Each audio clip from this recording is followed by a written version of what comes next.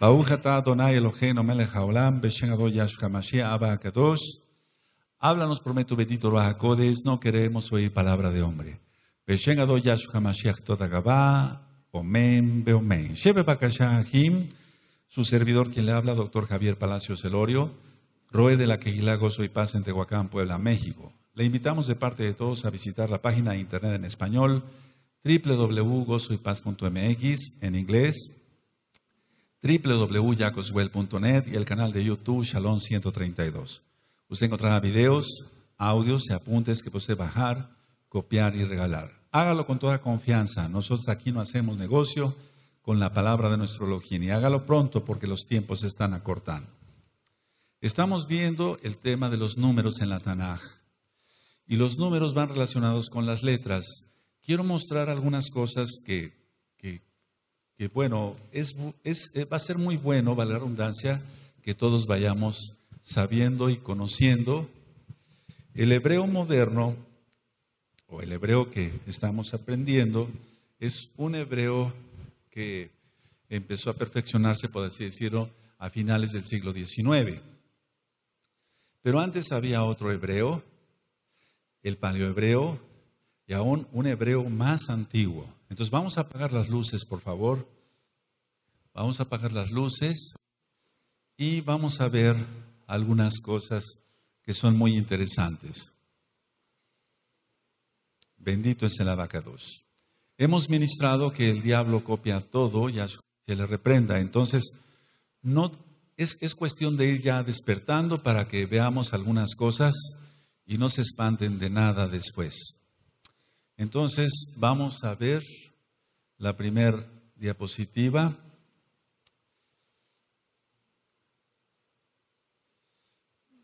Para que nosotros podamos explicar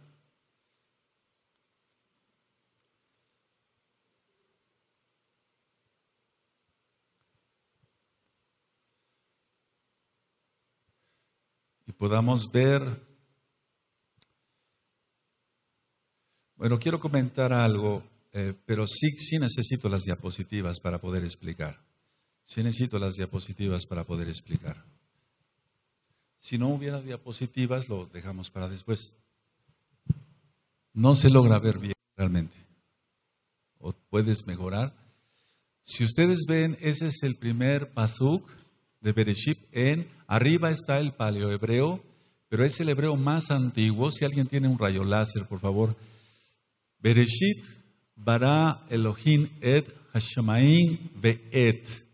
En ve'et y et, ahí lo está eh, subrayando nuestro amado Aj, hacia arriba, subraya, está la cabeza de toro, que representa, la cabeza de toro nada más, Aleph y Taf, que son los dos palos cruzados. Nada más quédate ahí, pero hacia abajo para que se vea bien. Ahí, en, eh, ahí, no te muevas ya.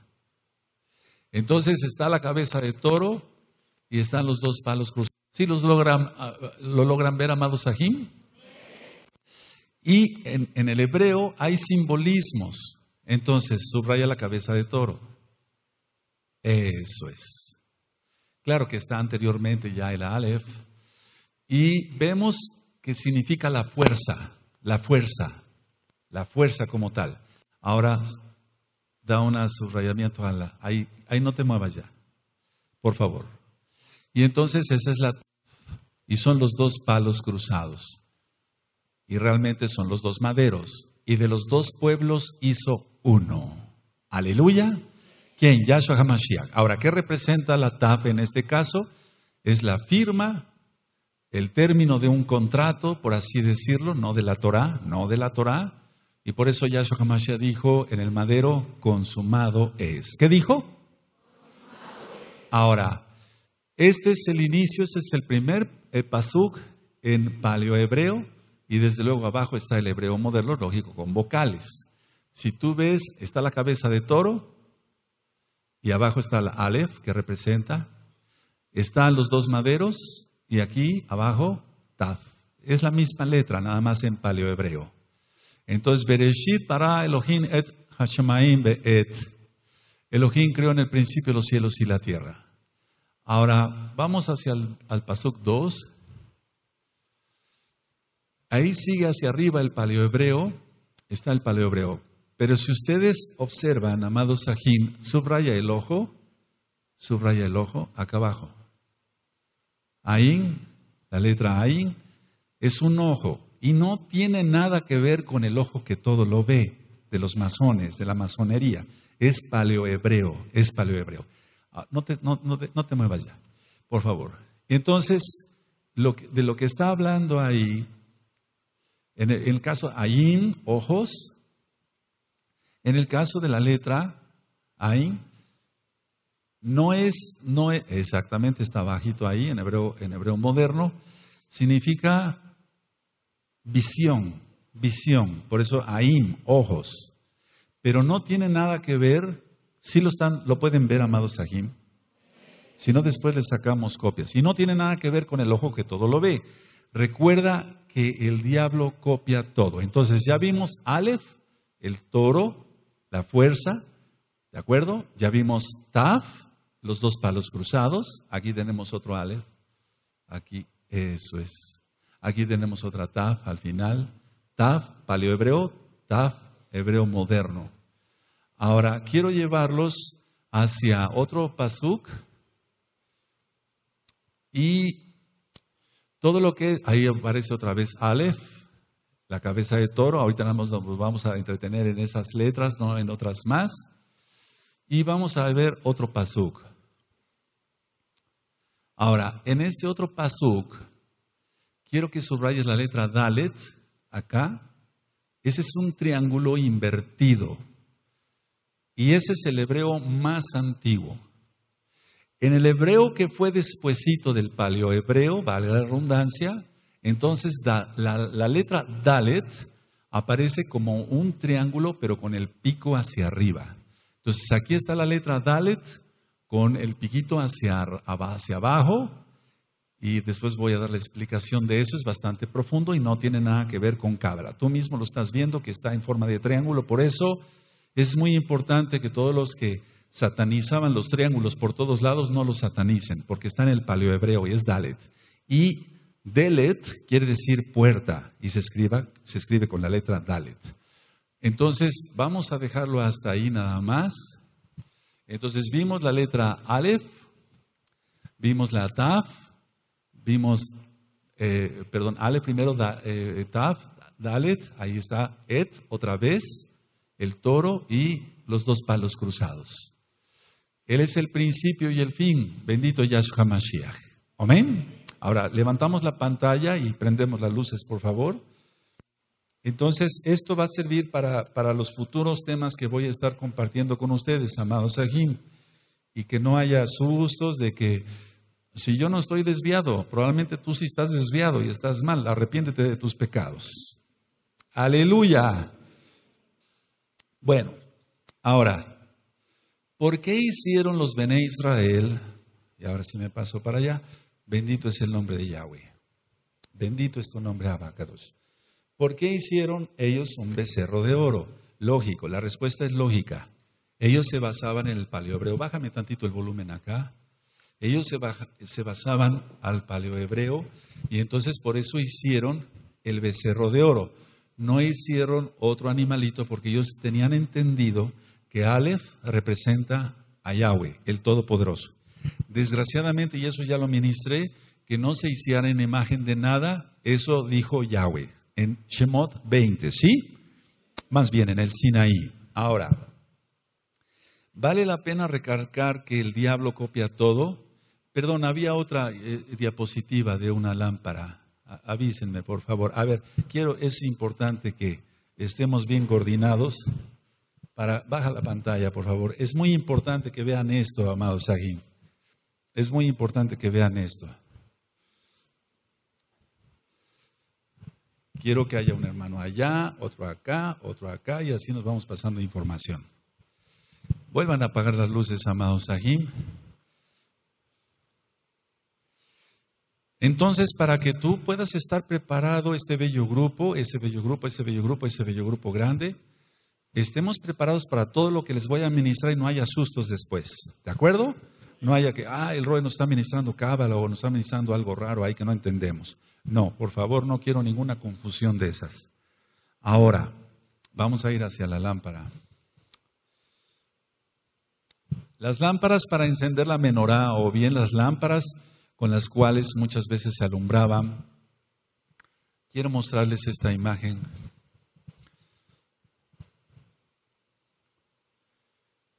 Y entonces el diablo copia todo, no tiene nada que ver el ojo que todo lo ve con la letra Ain, no. Es que el diablo copia todo. Ahorita voy a hablar algunas cosas, eh, vamos a ver algunas cosas interesantes. Vamos, Majer, sobre la lámpara. Para que así ustedes puedan ver eh, por qué digo, hemos ministrado ya que el diablo copia todo, que el diablo copia todo.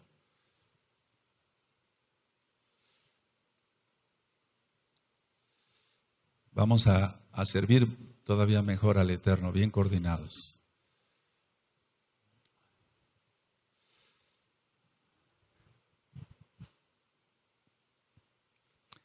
A ver si se puede ver un poco mejor. Ahorita hay mucha luz todavía en esta parte del planeta. Bueno, entonces está el, el Cohen encendiendo las luminarias. No sé, es, es, difícil que se alcance a ver la forma de las lámparas, pero ese era el original. Aquí tenemos otra menorá, allá hay otra menorá, y todo esto es Kadosh. Todo esto es apartado de Yahweh porque Él lo, lo dijo así. Ahora vamos a ver la siguiente. Entonces, aquí vemos otra menorá, la forma de las lámparas, porque estamos acostumbrados a ver la menorá como nosotros la hicimos acá, pero el original así no es, lógico. Ahora la siguiente, por favor. Y esta es una lámpara de aceite, no solamente de la época de cuando nos Adón Yahshua Mashiach estuvo acá en la tierra y que viene por segunda vez pronto, sino desde la época de Abraham. Y ahora vean lo siguiente, miren, pongan mucha atención. Ahora la siguiente. Ahora, ahí está la lámpara de Aladino. Yahshua Mashiach reprenda todo eso. ¿Te das cuenta? Es una copia, es una copia barata, es una copia. Entonces, todo lo que es Hasatán, Yahshua Mashiach le reprenda, trata de copiar siempre lo Kadosh. El problema está que nosotros nos vamos a desempolvar todo ese tipo de, cultura o de ideas o de imágenes, etcétera, y dejar de satanizar las cosas e irnos hacia lo Kadosh. Ya les ministraba hoy el Saquén en la mañana, volved a la senda antigua, según la Tanaj. No tiene nada que ver, entonces cualquiera que ve esa lámpara va a decir, no, es algo malo, etcétera, etcétera. Bueno, pero el diablo la copia, o sea que si frotándola sale un genio ahí, etcétera, etcétera, etcétera. Todos esos son inventos. ¿Hay más? Esas son. Así prendemos las luces, amados Sahim. Entonces, eso es muy importante que nos quede grabado, bendito es el nombre de Yahweh, para que no, no satanicemos las cosas y no veamos. Entonces, en el paleo hebreo, la letra Dalet, así se escribe Delet, que quiere decir puerta, el triángulo está invertido. Un hebreo un poquito más hacia acá, después vamos a dar fechas y demás. No es el estudio hoy. Ya aparece con el, el, pico hacia arriba. Y después ministraré sobre todo esto. Ahora, cuando, a, propósito, estando delante del Shengadol, el Eterno puso, bendito es su nombre, que yo haga reverencia siete veces. Y luego cuando vengo yo hacia la menorá, hacia la menorá, cuando vengo yo hacia la menorá, bendito es el nombre de Yahweh, la letra Shim, hago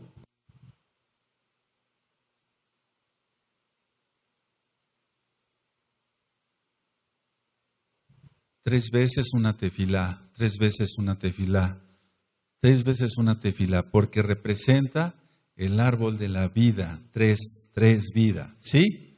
No es cábala, amados, no, no tiene nada que ver con cosas esotéricas.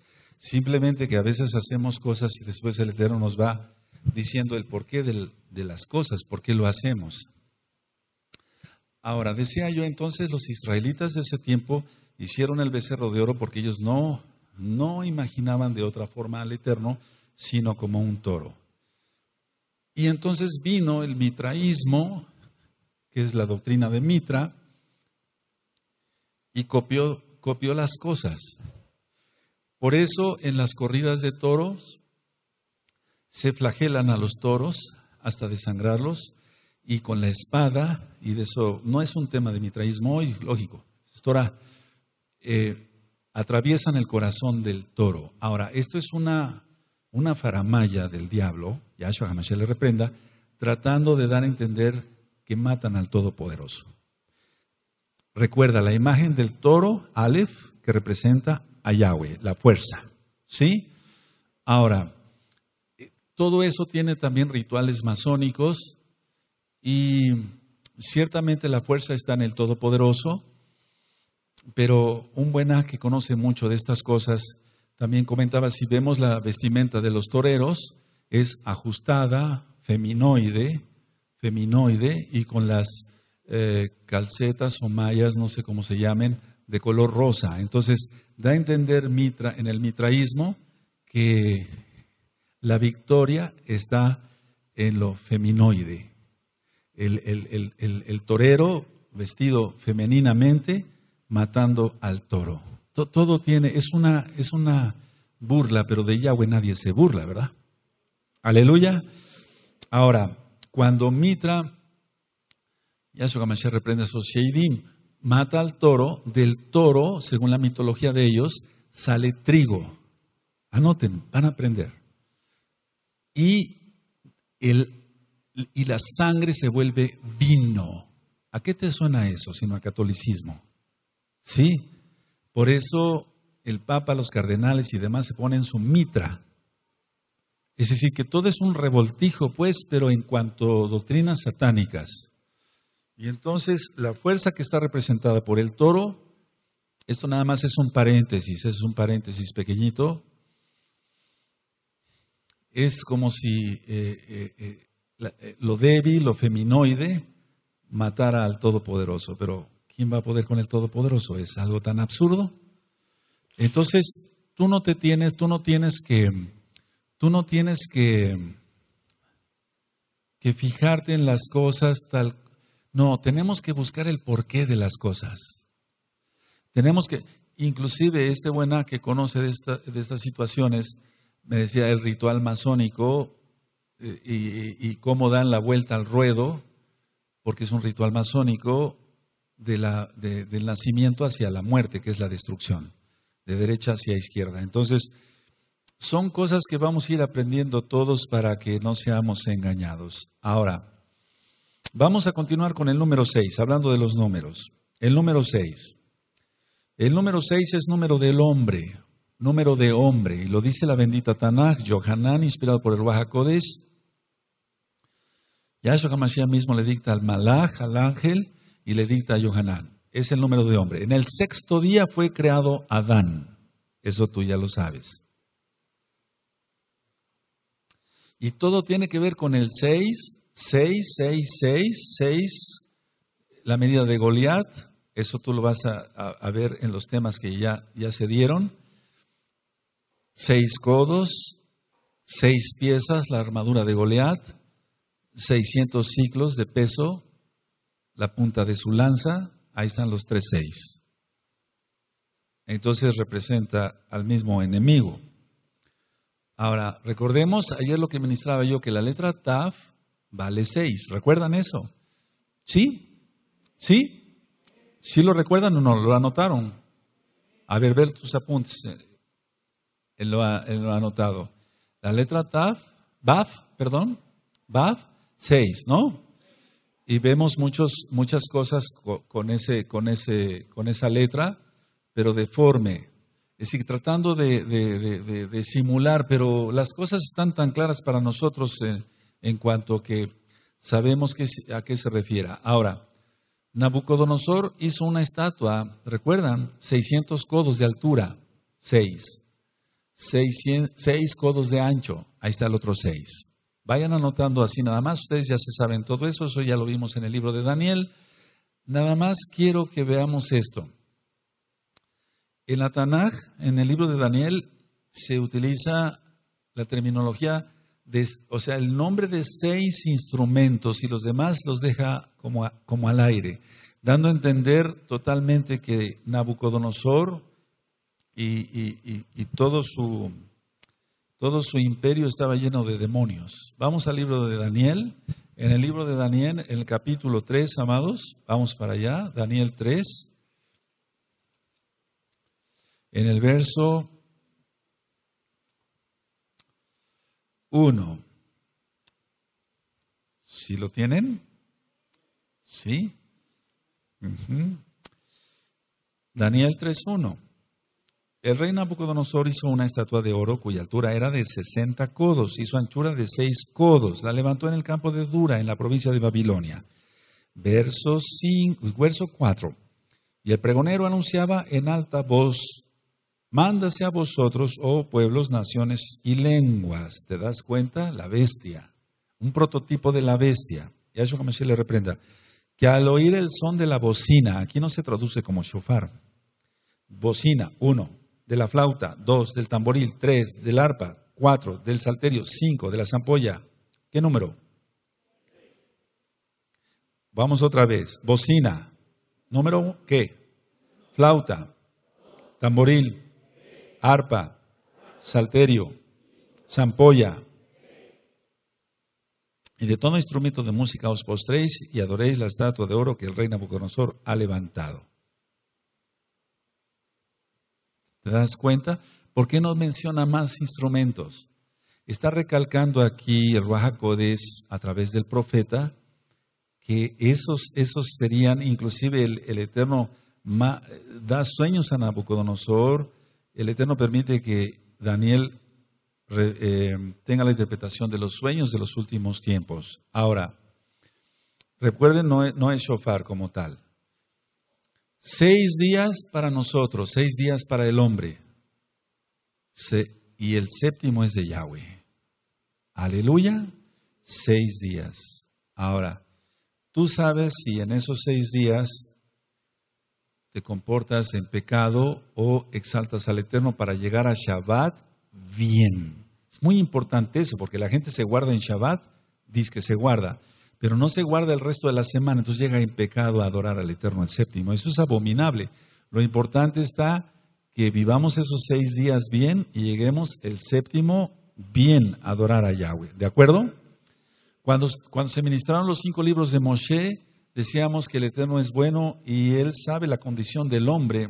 Y si alguien mataba a alguien por un descuido, etcétera, un, homicidio imprudencial, había seis ciudades de refugio. Anótenlo. Eso está.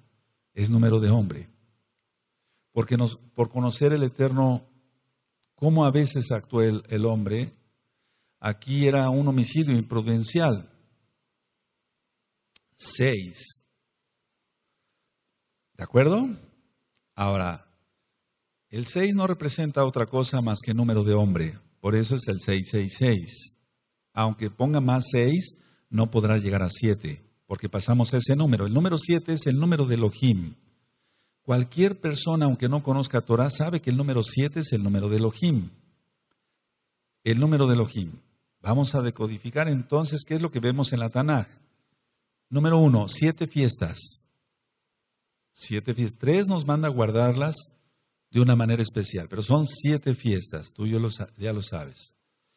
En el profeta Isaías dice, los, es Sheba Droahim, los siete espíritus, pero son las siete manifestaciones del Ruach En Gisgalud encontramos las siete Kehilot, las siete congregaciones de Meshihim. Sí, siete estrellas a la diestra de Yahshua. Ustedes me dicen cuando pueda continuar, amado Sahim. ¿Sí? En el séptimo mes nació Yahshua.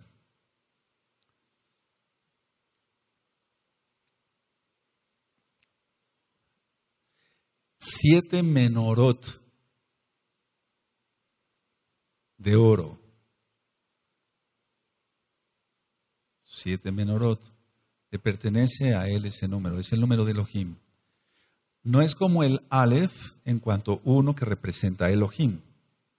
Sí, esto le pertenece a Elohim. Es representativo de, nuestro Elohim como tal. Siete, en Zacarías dice, los, fíjense, por eso el diablo copia todo, por eso quise mostrarles la, letra Ain en, en hebreo, en paleohebreo. Siete ojos que rodean toda la tierra. Por eso ellos hicieron su estación espacial. Se copia todo a. Siete ojos que rodean toda la tierra.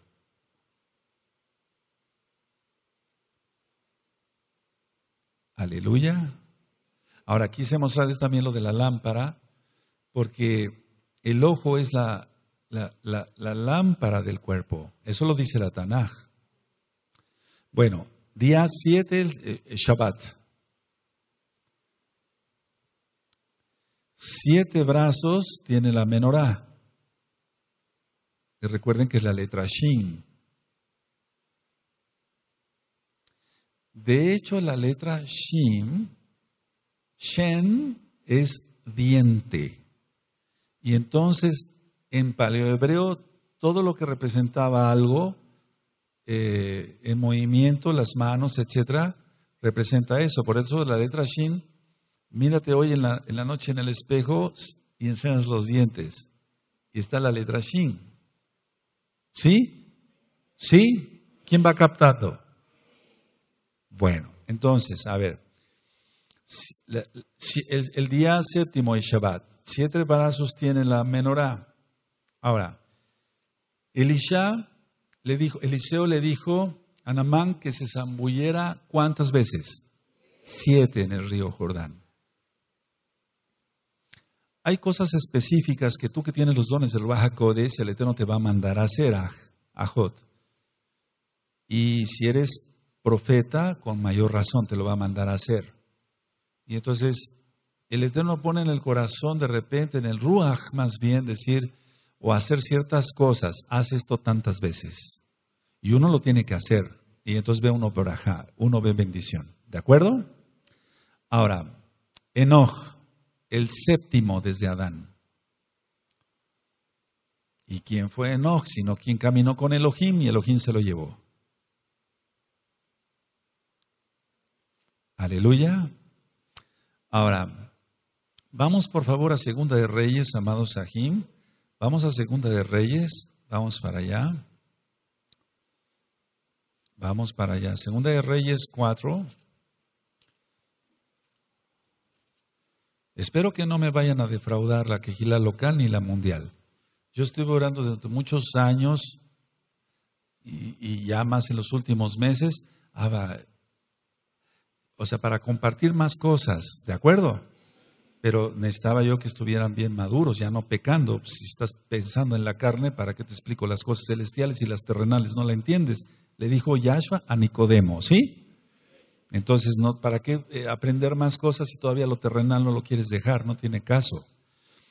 Ahora, Elisha, vamos a Segunda de Reyes 4, 35. Y estamos viendo estamos viendo el número 7. Porque el número 7 significa el milenio. Anótenlo, el milenio. O sea, seis días para el hombre, seis milenios. Porque un día para Elohim son como mil años. Entonces, vamos al número 7, que es el milenio. Ahora, el milenio representa vida. Así como el número 3 representa vida, pero no en, cuanto a la vida que vamos a tener con Yahshua en la resurrección. Bueno, entonces vemos, vamos a ver desde el verso 33, entrando él, ¿sí lo tienen? Segunda de Reyes 4:33, entrando él entonces cerró la puerta tras ambos y oró a Yahweh. Había muerto el niño. Después subió y se tendió sobre el niño, poniendo su boca sobre la boca de él y sus ojos sobre sus ojos y sus manos sobre las manos suyas. Así se tendió sobre él y el cuerpo del, niño entró en calor. Volviéndose luego se paseó por la casa a una y otra parte y después subió y se tendió sobre él nuevamente y el niño estornudó. ¿Cuánto? ¿Cuántos hay acá? Y abrió siete veces, estornudó. El Eterno tiene un plan perfecto. Entonces, eh, ¿por qué el niño estornudó siete veces y no cuatro o cinco? Es que representa la resurrección, el milenio, la entrada al milenio. Vendrá Yahshua HaMashiach, tocará el shofar, se inaugurará el milenio y vámonos. Bendito es el abacado. ¿Estás preparado? ¿O todavía te, sostiene la carne aquí con tus mundanidades? Por favor, vamos a crecer más. Entonces, por eso, por eso estornudó siete veces el niñito. Ahora, ¿podemos pasar al número ocho? Número ocho significa la eternidad, basado en la Tanakh, no a doctrinas de hombres. Se refiere a, la eternidad. El número ocho, el octavo día de Sukkot. El octavo día de Sukkot. Agreguen un día más a la fiesta, Sukkot. Agreguen un día más a la fiesta. Viene Sukkot. Y viene Sukkot ya. Aleluya. Anota, Yahshua HaMashiach nació el primer día de Sukkot. Sacando bien las cuentas, hay un audio que le titulé Fiestas Paganas y entre ahí está la Navidad. Y ahí saco las cuentas, sacamos las cuentas, tú lo puedes escuchar. Yahshua nació el primer día de Sukkot y al octavo día, octavo, Brit Milá. Brit.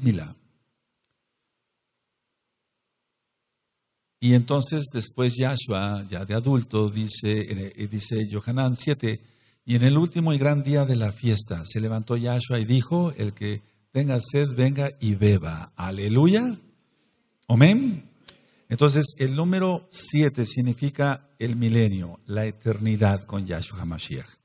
Si vamos a estar ya, algunos pasarán vivos al milenio y yo no dudo que de este bello rebaño aquí y allá se pase vivo al milenio, pero muchos, el Eterno por su inmensa rajen vendrá, rescatará, o si estamos muertos nos resucitará, y eso significa eh, en sí el, el, número 8 como eternidad, perdón. Ahora, el milenio se considera un Shabbat Gadol. Eh, por eso venimos a guardar Shabbat. Y si tú estás atento y gozoso en Shabbat, el Eterno permitirá que pasemos al milenio por su inmensa rajem. Pero si seguimos con esa apatía, dudémoslo. El Eterno quiere un corazón completo. ¿De acuerdo? Ahora, me llama la atención el número 8, porque el Salmo 119, vamos para allá, amados Sahim, vamos para allá. Salmo 119. Salmo 119, vamos para allá.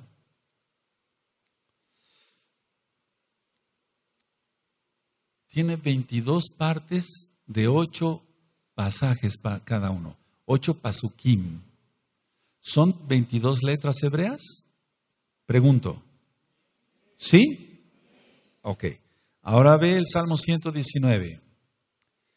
Ocho versos Después sigue la segunda letra, otros ocho versos, sigue la tercera letra, otros ocho versos, y así se va. Son 22 partes porque son 22 letras y todas de ocho porque representan la eternidad. ¿Ya lo viste? A ver, si quieres entonces podrías hacer, no sé, como algo, con, tu, con tu lapicero, poner así, ocho, 16, y luego, y luego, y luego, y luego, y luego, y luego, y así, y mira, son ocho, ocho, ocho. El Eterno es perfecto. El Eterno es perfecto. Bendito es su nombre. Y están las letras hebreas. Ahora, independientemente de que los versos fueron hechos por otras personas, o sea, me refiero a la, eh, el Eterno tiene control de todo. Y están las 22 letras en el, en el, en el Salmo 119. Ahora, ocho personas fueron salvas en el diluvio. Anótalo. Ocho personas salvas en el diluvio. y representa, lógico, Brit Milá. Es tan importante ese pacto, amados Sahim. Es tan importante ese pacto, Brit Milá. Por eso es tan atacado ese pacto. Por eso entre los que se dicen mesiánicos, no, no, pues yo me pongo mi kipa y mi talid y ya, aunque sea incircunciso. Dice Yahweh, basta ya, casa de Israel, traer a mi santuario, al Mishkan, Bet Hamidash, incircuncisos de corazón y de carne. ¿Así está? Ezequiel 44, verso 9. Porque el pacto que, dijo, que hizo Yahweh con Abraham, pues lógico, es de suma importancia, representa también la eternidad. Ahora, ¿ya vieron entonces si puedes subrayar ahí 22 y son 22 letras, lógico, con 8 versos? Ahora, este, este salmo, perdón, sí, el salmo 119 es el que exalta la Torah, exalta la Torah de Yahweh. Y Yahshua es la Torah viviente. Entonces, ¿cuánto amo yo tu Torah? Todo es, eh, eh, eh, todo el día es ella mi meditación. Aleluya. Amén. Número 10. El número 10 significa plenitud o totalidad. Significa plenitud o totalidad.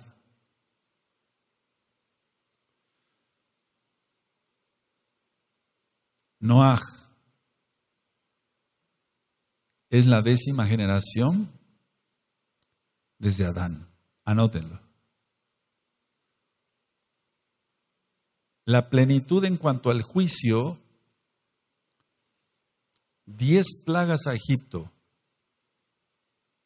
Fue un juicio, y eso ya lo hemos explicado, lo vamos a volver a explicar si el Eterno lo permite, permite vida.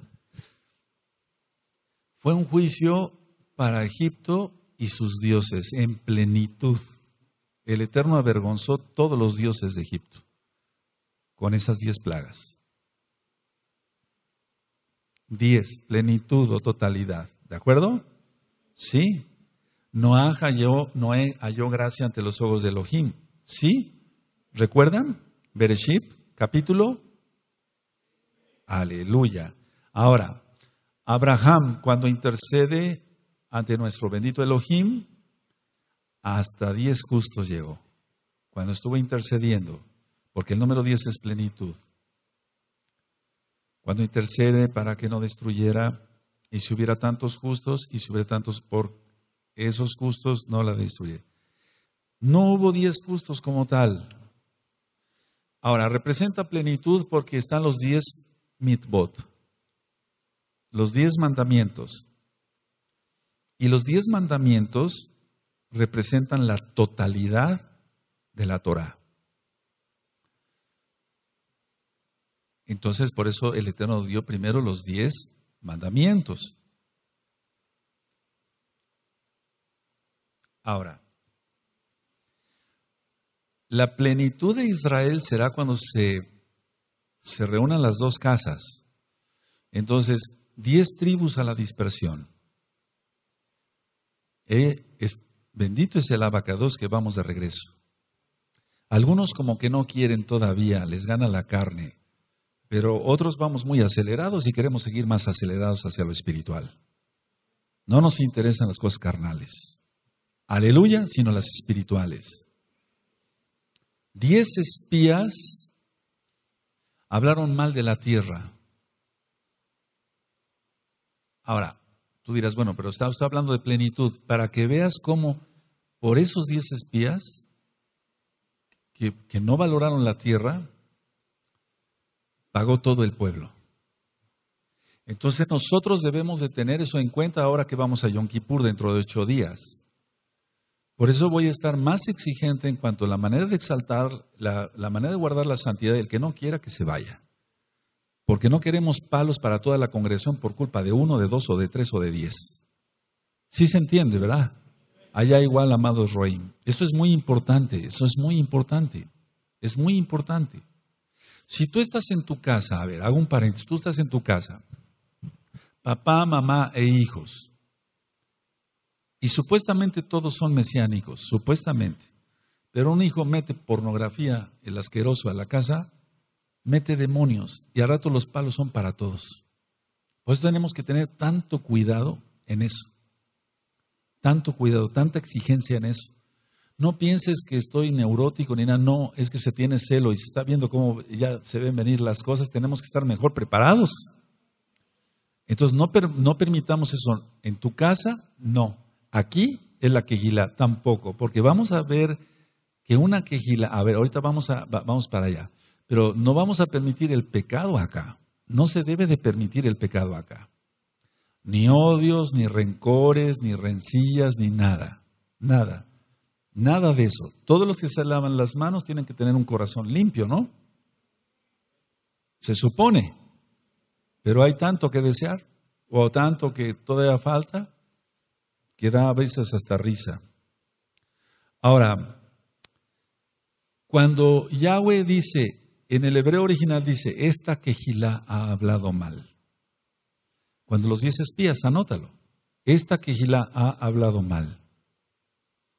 Esta quejilá ha hablado mal. ¿Por qué dijo quejilá si nada más fueron diez?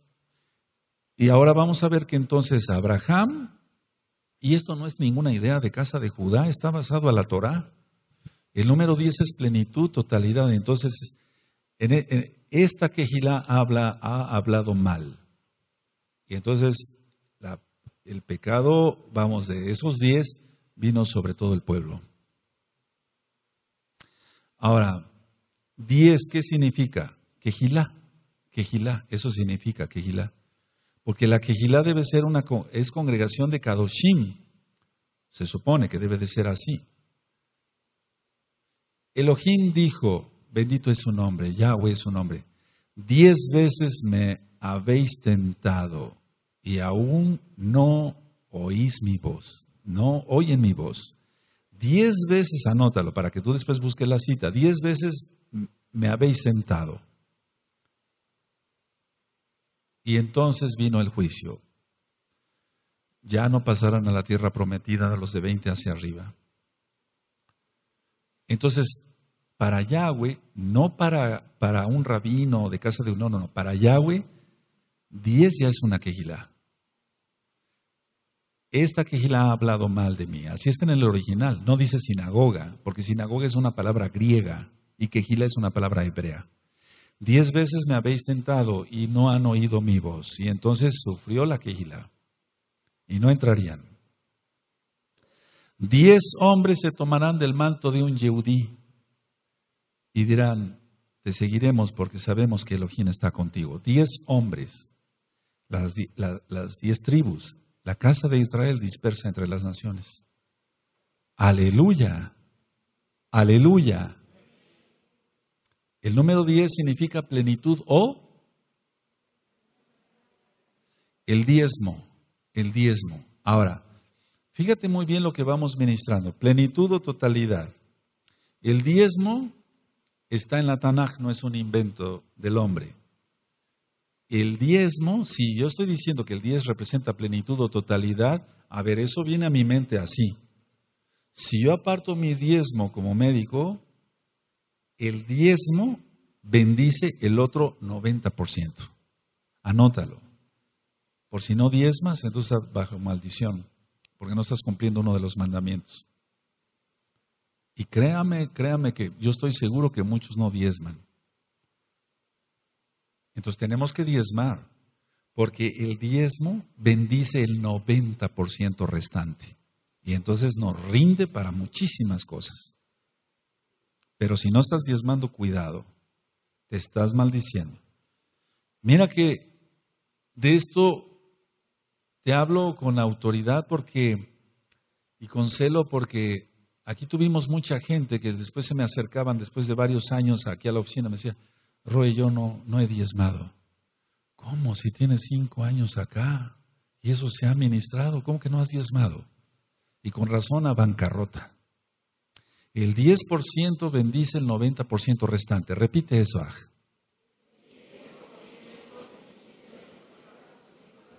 Ahora, hemos visto, en, vimos en Yonterú, amado Sahim, que bendito es el abacados, que el Eterno dio lo mejor a la novia. Sí, sí, toda su sangre. Bendito es Yahshua Mashiach. Entonces, si 10 es plenitud o totalidad, y Abraham, porque vemos eso en, en John Terúa, lo vimos, Abraham, vamos a ver cuántos camellos mandó entonces con el sirviente. Vamos a ver Bereshit, vamos para allá, Bereshit 24, cuando manda a su sirviente, le dice a Eliezer que, se, que lleve cuántos camellos. Eh, entonces vamos a Bereshit 24, verso 10. O sea, que a la novia lo mejor, a la novia lo mejor, no se escucha, a la novia lo mejor, Yahshua nos dio lo mejor, bendito es su nombre. Si tienen Bereshit 24, Génesis 24, verso 10, y el criado tomó 10 camellos, ¿cuántos camellos? De los camellos de su señor y se fue tomando toda clase de regalos escogidos de su señor, tremendo y puesto en camino llegó a Mesopotamia, a la ciudad de Nacor. ¿Cuántos camellos? Llenos de regalos para la novia. Entonces, es, eh, eh, si diez es plenitud, es darlo todo por la novia. Anótelo, darlo todo por la novia. Ahora, Yahshua lo dio, bendito es Él. El que Él es la Torah viviente, Él es el Mashiach, Yahshua. No hay otro Mashiach. Dijimos en un inicio, amado Sajín, que 10 es plenitud o totalidad, porque ahora viene el 10 de Tisri y es Yom Kippur, este próximo Shabbat. Y entonces pongan mucha atención y no se distraigan. Si yo dije que el número 10 es totalidad, porque así lo es, y plenitud, porque así lo es, yo te estoy dando las citas, después las va, tú ya te las sabes, pero después lo vas a buscar en tu Tanaj se perdonan, anoten, la totalidad de los pecados. Es decir, la totalidad de los pecados son perdonados en Yom Kippur. Entonces tú sabes si vas a aprovechar bien Yom Kippur. O vas a seguir igual. O peor. La totalidad de los pecados son perdonados. Es tan importante este Shabbatón que viene, amado Sahim. Aleluya. Es tan importante Entonces vamos a venir a Yom Kippur, vamos, vamos a venir ya, vamos a comer a mediodía este próximo viernes para que se entienda. Comemos, ¿verdad? Bebemos y venimos ya dispuestos a ayunar 24 horas. Bendito es el abacados. Y que el Eterno nos hable, que el Eterno nos hable, que tenga rajen de todos nosotros. Amén. Ahora, el número 12. El número 12 representa la totalidad, pero de Israel. No en cuanto a totalidad de, de todo, valga la redundancia, en cuanto a la totalidad de Israel. Para empezar, son doce tribus. Somos doce tribus. ¿De cuál vendremos? Solamente el abacados lo sabe. ¿De acuerdo? Ahora, vamos por favor, abran su Tanaj en Éxodo, en Éxodo verso 15, Shemot 15, verso 27.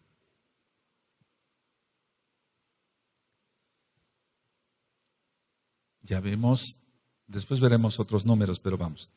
A ver, si tienen Éxodo 15, verso 27? ¿Sí lo tienen? y llegaron a Elim donde había doce fuentes de agua, una por cada tribu de Israel.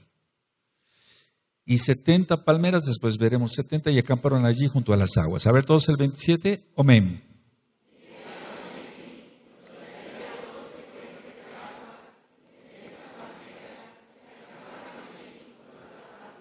Ahora, cuando, cuando, entonces cada fuente es para un hijo de Israel. Ahora, cuando Yahshua HaMashiach, eso lo ministramos en el número 5, dijo, denles ustedes de comer.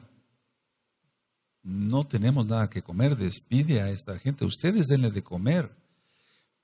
Bueno, traen un, niño, traen un niño, cinco panes, cinco panes, la Torah, y dos, ¿qué? Dos peces, que significan las dos casas de Israel. Ahora, en el caso de los de, lo que sobró fueron 12 canastos. Tú después lo vas a buscar, ya lo vimos en el Shah. 12 canastos, uno por cada tribu. Anótalo. Y sí que va a haber abundancia de pan para aquel que siga a Yahshua. Pero déjalo de seguir con el pecado, mirando porquería y media y extraviándote y puedes lamentarlo después. Perdón que hable yo así, es más, ni te dejo de pedir perdón por eso. Antes debes de agradecer que se te hable así. Aleluya. Porque después vendrán las pruebas fuertes, amados. Doce canastos sobraron, eso tú lo vas a buscar. Mashiach Yahshua resucita a una niña de doce años. Doce. Resucita a Israel. Porque se casa con, con Israel nada más. Ya lo ministramos en John. ¿Sí? ¿Seguimos?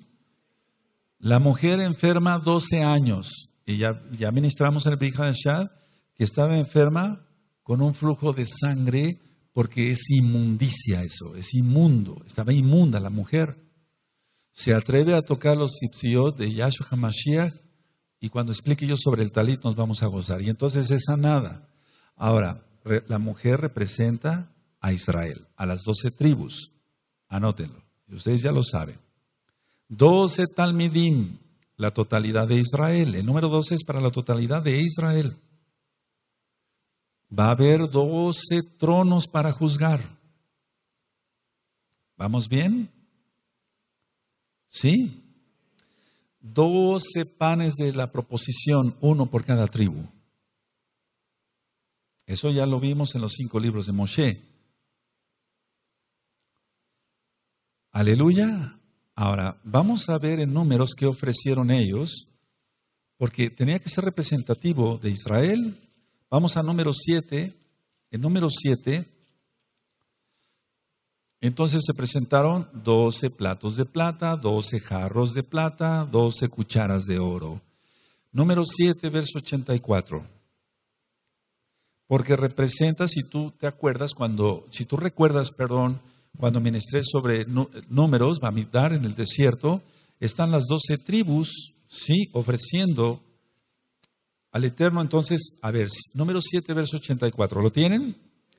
Esta fue la ofrenda que los príncipes de Israel ofrecieron para la dedicación del altar, el día en que fue ungido. Doce platos de plata, doce jarros de plata, doce cucharas de oro. A ver, todos el 84, amén.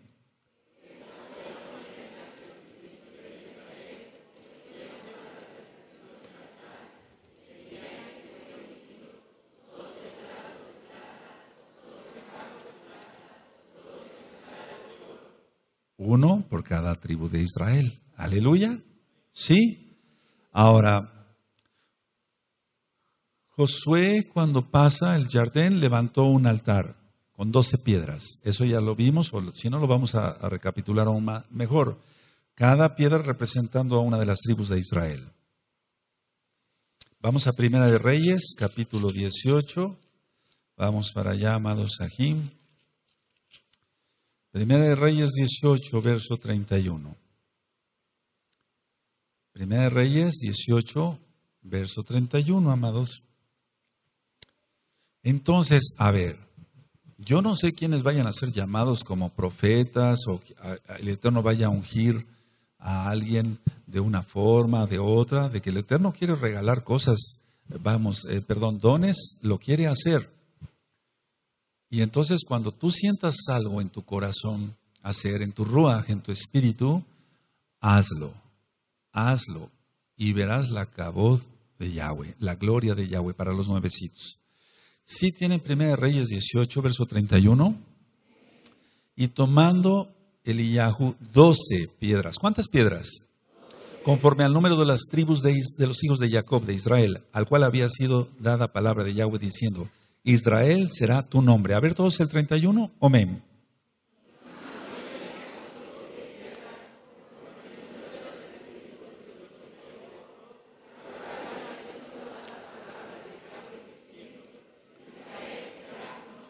Ahora, no es una, una, forma mágica, por favor, que nosotros no hacemos eso.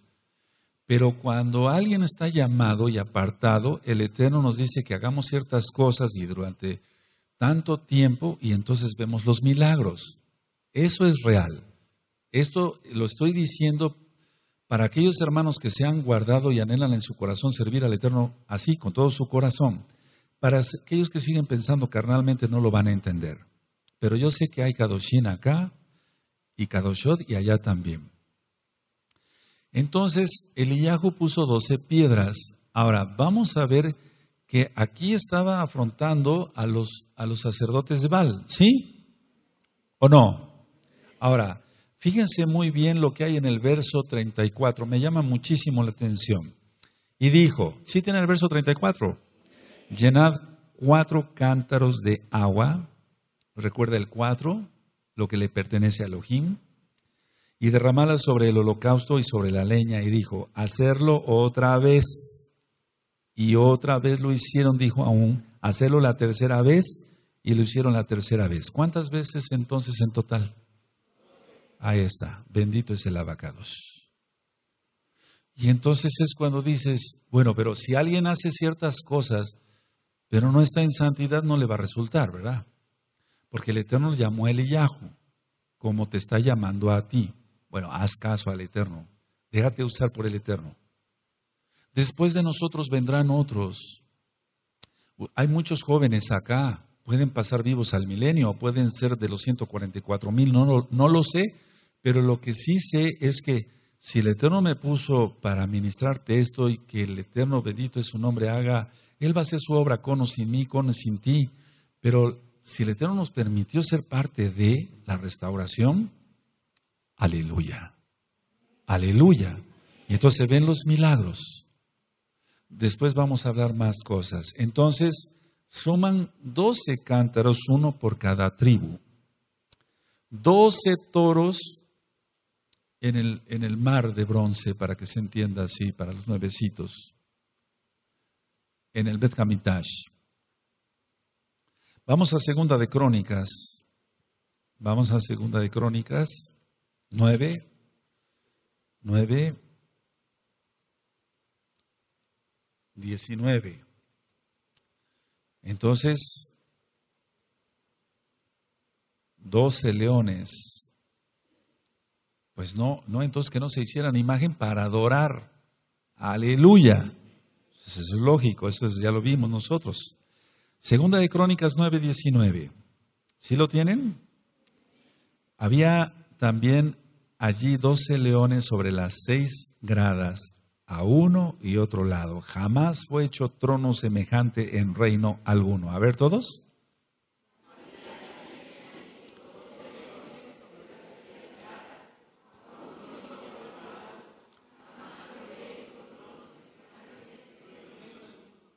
Ahora, ¿de dónde recibió Salomón esta, de dónde recibió esta orden? ¿Se le ocurrió o, cómo? Hay cosas que no están escritas en la Tanakh, pero que son tradición, oral verdadera. Hasta hay un audio, dos audios, si no mal recuerdo. Sobre eso y vamos primeramente el Eterno a grabar más. Ahora, seis y seis. Bueno, pero no tiene nada que ver con el número de hombre. Ahora, en Gisgalut, en Apocalipsis, vemos el árbol de la vida, que da doce frutos. Cada mes un fruto diferente. Eso ya lo vimos, anótenlo nada más. Después buscan la cita. ¿Sí? Aleluya. Y es la menorá, la menorá es la menorá. Bendito es el abacados. Es el árbol de la vida, la letra Shin decodificado en nombre de Yahshua HaMashiach. Eso ya lo vimos. Hay un audio que le titulé, titulé fuego de la menorá o fuego de contienda, si no mal recuerdo así está, ya tiene algunos añitos es, ese audio, pero vuélvanlo a escuchar. Vamos a Gisgalut, Apocalipsis 21, vamos para allá. 21, sí nos va a dar tiempo de terminar hoy. 21, verso 12. ¿Ya lo tienen? Tenía un muro grande y alto con doce puertas en las puertas. Y en las puertas doce malachim. Y nombres inscritos que son los de las doce tribus de los hijos de Israel. A ver, todos el doce, amados. Amén.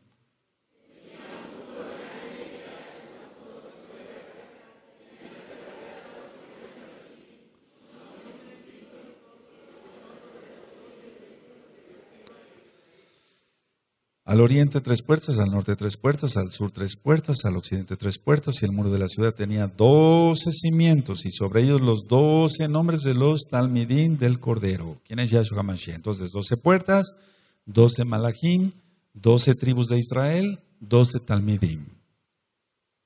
Entonces, el número doce es la plenitud, pero en cuanto a Israel, ahí no entra nada más, nadie más. Ahora, el número 22 el número 22, porque también hay muchas cosas decodificadas en la Tanaj, es principio y fin. Porque son 22 letras hebreas. El alefato. Aleph, por eso quise iniciar ayer y hoy, Aleph, Taf. La Taf, ya sabes, la firma eh, eh, eh, consumado es de Yahshua HaMashiach. Amén. Ahora, en sí el número 22, como es principio y fin, representa el yo soy que encontramos en Bereshit y en toda la Tanaj.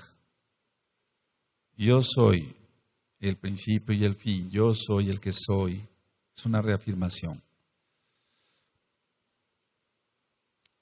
Ahora, vamos otra vez al Salmo 119, por favor, amados Agim.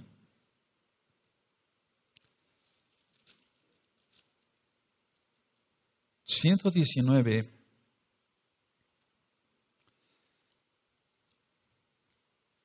En el Salmo 119, entonces, ya vimos que son... Bueno, ya vimos el número 8, pero hay 22 letras acá. Claramente hasta la Taf, y entonces ya termina el, el, Pasuk 176, ¿de acuerdo? Ahora, este, también aquí es principio y fin porque es la Torah. La Torah es exaltada, si gustes anotarlo otra vez, no te cae mal. La Torah es exaltada porque Yahshua es la Torah viviente. Ahora, ¿puedo continuar? Bendito es el abacados. Amén. Sí, ahora, vamos hacia Yom Kippur, ¿de acuerdo? En ocho días estaremos en Yom Kippur. Ahora, uno de los libros que yo te recomiendo leer es Lamentaciones de Jeremías. Lamentaciones. Entonces, porque ahí se lamentaban de, de estar en, en el cautiverio allá en Babilonia entonces vamos al libro de lamentaciones. Ábranlo, por favor. Y tú vas a ver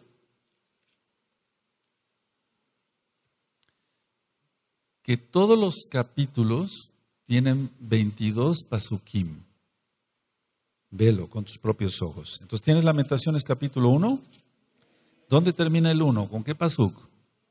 22. Ahora, vamos al capítulo 2. ¿En cuál termina? El capítulo número 3 tiene 22, 22, 22. Decodificado, 22, 22, 22. ¿Cuántos versos hay? 22, 22, 22.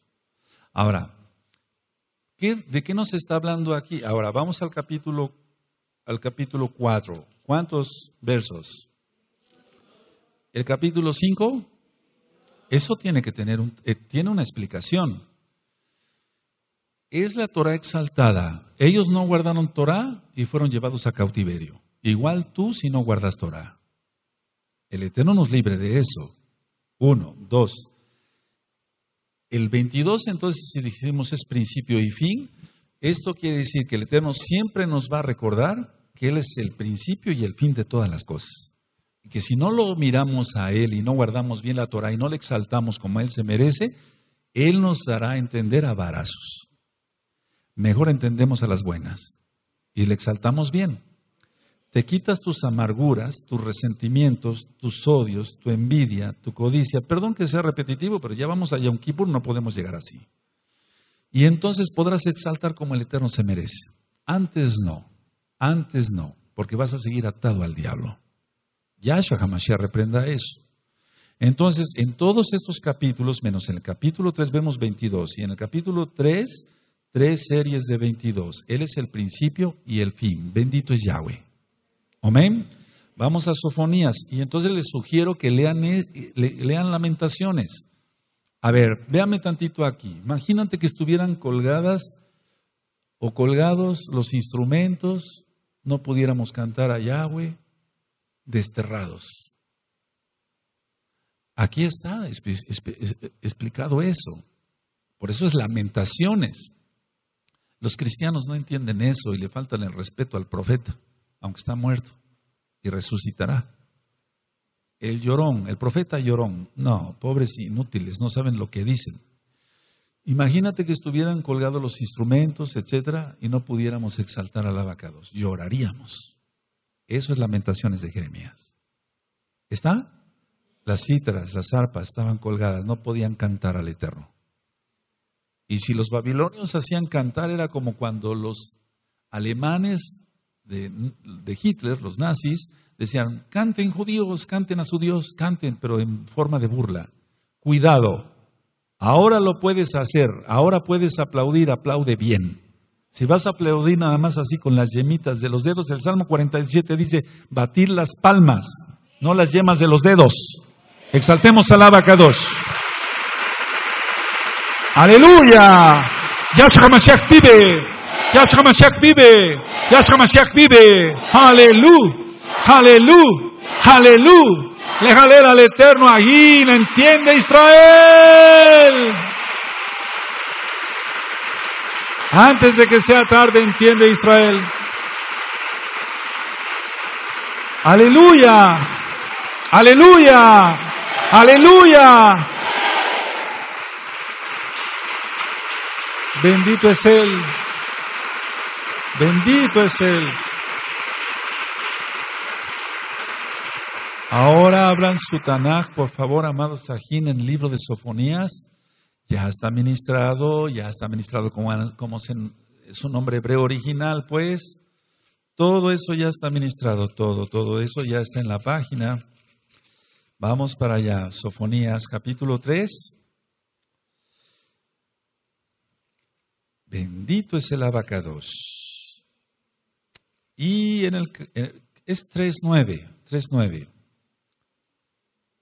Estamos en época de la, de la restauración, en aquel tiempo devolveré yo a los pueblos pureza de labios, para que en todo, todos invoquen el nombre de Yahweh, para que les sirvan, sirvan, ¿eh? de común consentimiento. A ver, todos el 9. Amén.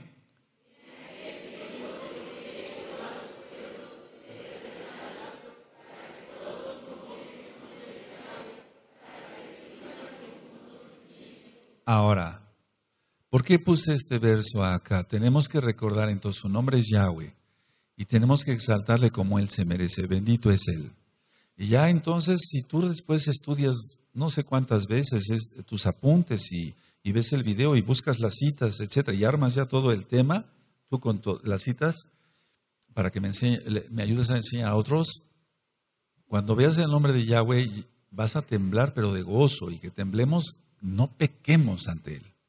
No pequemos. Un loco peca, o una loca. Alguien que tiene conciencia, en primer lugar, el Ruach es no peca. ¿De acuerdo? Número 40 significa prueba o purificación. Y estamos en los 40 días de Teshuvah. El Eterno nos está observando todo el tiempo, cada segundo, cada milésima de segundo. Para Él no hay nada imposible. El número, número 40 significa que 40 días el ayuno de Moshe. 40 días. Ahora, el Eterno permitió esto. Recuerda, el número 3 es vida. Entonces, a ver, el número 3 es vida, ¿sí? Ahora, Moshe ayunó tres veces, subió 40 días, bajó, vio el pecado, volvió a subir, volvió a interceder, volvió a subir y volvió a bajar. Entonces son 40 más 40 más 40 y esos son los años que vivió Moshe. Anótalo, tiene que ver todo. los ayunos, lo que hagamos, cumplir los mandamientos. Cuando hablemos sobre el talit, los varones, pero también nuestras amadas Agayot que tienen marido y, hijitos, se van a gozar cuando hablemos del talit.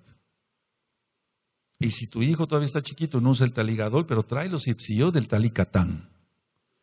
Entonces, a ver, 120 años, 40, 40, 40, 40 días. ¿Sí? Ahora, Yahshua ayunó 40 días. 40 años en el desierto, el pueblo de Israel, un día por año, un día por año. Si ayunamos más, entonces viviremos más, es muy posible que sí. Es muy posible que sí. En primer lugar, porque es más saludable y no nos llenamos de tanto alimento que a veces ni necesitamos. Aleluya. Para los que no ayunan, hay que ayunar. 40 años en el desierto. Ahora, 40 días a Nínive dio oportunidad. Y vemos que se arrepintieron, pues después volvieron a las andanzas y el Eterno los destruye. Eso ya lo vimos.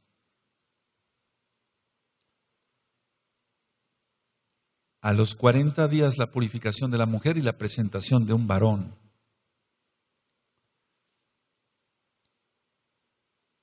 Amén.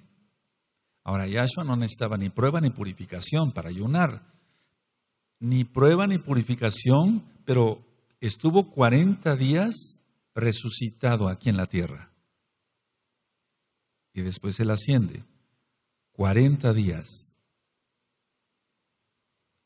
así como 40 días y 40 noches, con sus noches, el diluvio. El diluvio. Aleluya. Ahora, el número 50.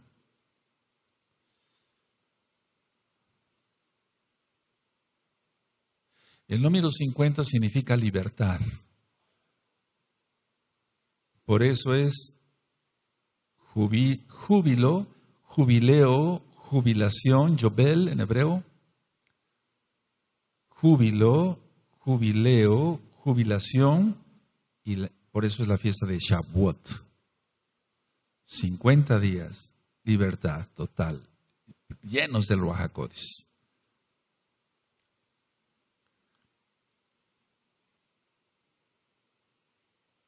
Ahora Shaul le dijo, a una comunidad, me temo que haya yo trabajado en vano con vosotros. Y eso es lo mismo que estoy pensando en estos últimos días. Y créanme lo que muchos me dan motivos para pensar eso. Porque yo me guardo, oro, ayuno, intercedo, me levanto en la madrugada y así lo siento.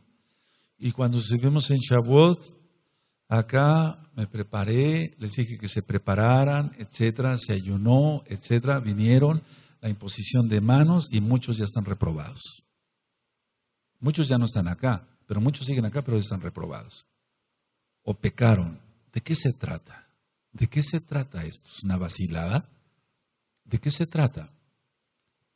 No nada más es la quejila local, sino la quejila mundial, la que me ha dado muchos dolores de cabeza en estos últimos días. Por eso estoy así. Y entonces digo, Padre, amado, yo me levantaba en la madrugada y digo, Abba, ¿qué es esto, Abba? Dime, ¿qué es esto? No entiendo. Y más bien ellos no entienden, el pueblo no entiende. Para que con sus oídos oigan, no, pero no van a escuchar, no van a ver. Y entonces se van a perder. No, el Eterno no quiera eso. Hasta Shuvah. Viene Yom Kippur. Viene Yom Kippur. Aleluya. Aleluya. No sabemos si sea el último Yom Kippur que pasemos, pero el tiempo se está acortando. El tiempo se está acortando.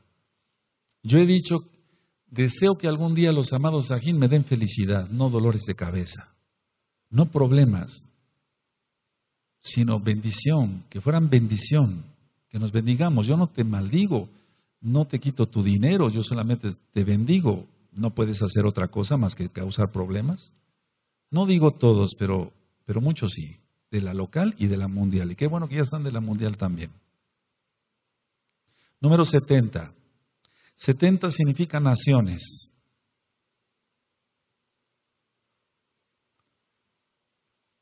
Y entonces, vamos por favor, los quiero llevar otra vez,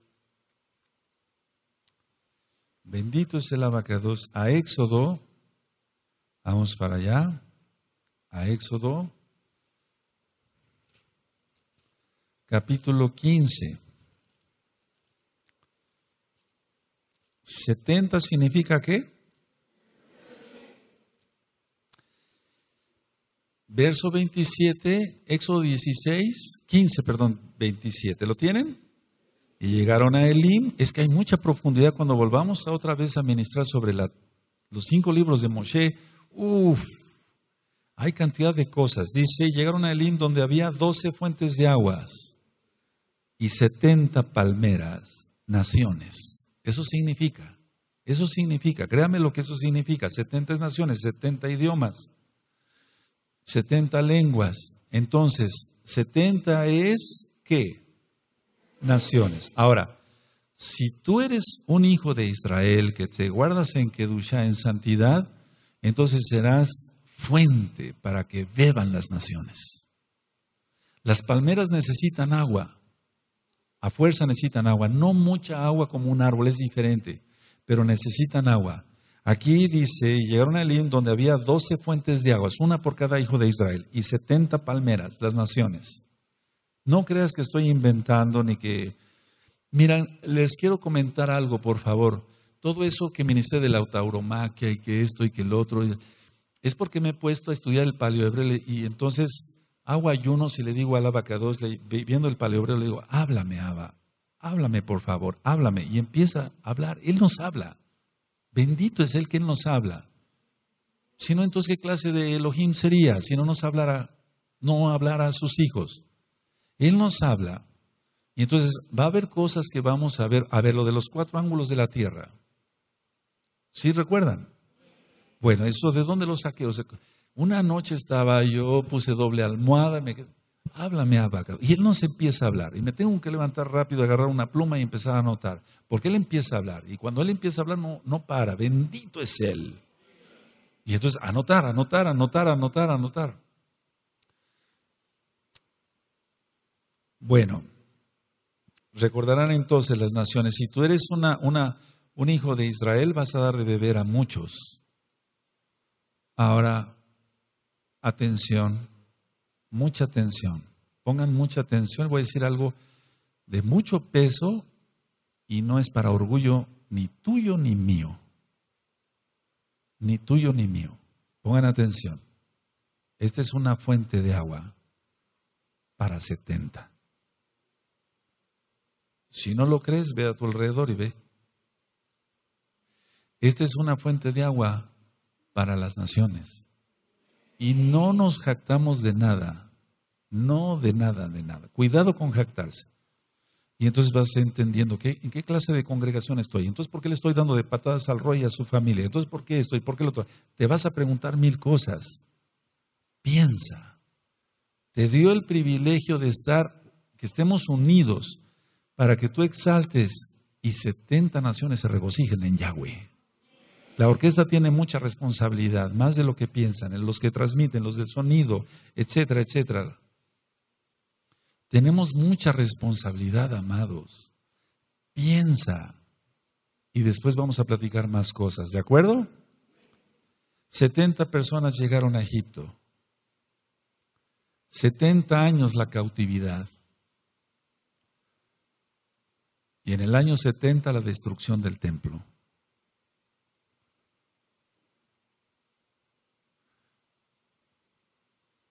Y hay muchas cosas más que se pueden decir. Ahora, Moshe, hablando de Moshe, por cierto, el nombre Moshe empieza con una letra, Men, después, Shin y después, Hey. ¿Sí? ¿Sí? ¿Estamos bien? Ahora al revés, pero no es Cábala. Shem él iba todavía a dar a conocer más el nombre de Yahweh. Ahora, Moshe se quedó en el desierto. Yo me pregunto, ¿por qué se quedó en el desierto? ¿Por qué no lo dejó entrar a la tierra prometida? Bueno, eso ya lo sabemos y el Eterno sabe lo que hace, no necesita consejo nuestro. Pero es que para salir del desierto es una forma simbólica, por favor, porque Moshe murió y él resucitará. Aleluya. Bueno, vamos a hablar más cosas profundas después, pero lo que quiero es esto. Es una manera simbólica. Moshe representa la Torah. Yahshua es la Torah viviente. Moshe representa la Torah. Entonces, para salir del desierto y poder entrar a la tierra prometida, necesitamos la Torah. Es decir, que el Eterno no permitió que, que entrara a la tierra prometida con un propósito. Todo es simbolismo.